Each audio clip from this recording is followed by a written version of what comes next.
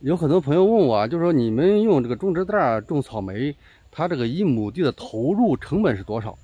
啊，想了解这一块呢，所以给大家算一下吧。就基本上，好比种植袋这一块啊，一个袋子是栽四颗，一亩地栽八千颗啊。一般情况下，我们一亩地用两千个袋子，这两千个袋子的费用呢，一个袋子是九毛五啊，就是这样的话就是一千九百块钱，这是种植袋的投资费用。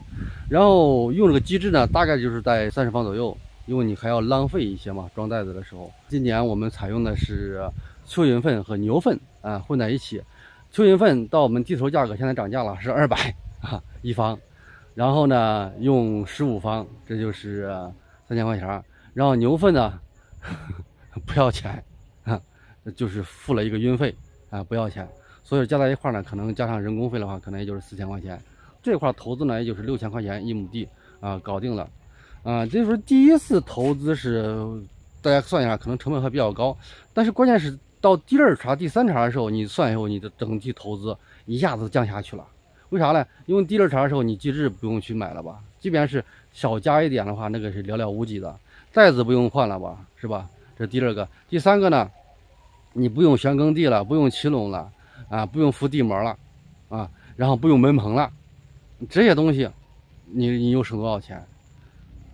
这是在种植成本这一块，在营销这一块呢？营销这一块呢？因为根据我们的经验吧，就是每年草莓采摘的时候，有很多来我们园区采摘草莓的人呢，往往就把我们这个种植袋里面的草莓都直接带着种植袋都一块搬走了，一家会搬四五个。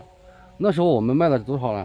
这一四颗啊是一百块钱，一袋是一百块钱，啊，这时候他们是不讲价格的，因为这个东西它放到阳台上以后，它不是为了吃草莓，它是为了心情的愉悦。所以说呢，整体就无论从营销角度还是种植成本角度来说，用这种种植袋无土栽培这一块啊是非常好的。刚才大家实际上只算成本的那个投入了，实际上还没有算大家这个产量这一块。用无土栽培这个产量，往往要比这个土壤栽培这个产量能提升百分之二十左右的一个产量，并且呢，这个死苗率啊是非常非常低的，比土壤这个栽培这块低很多很多。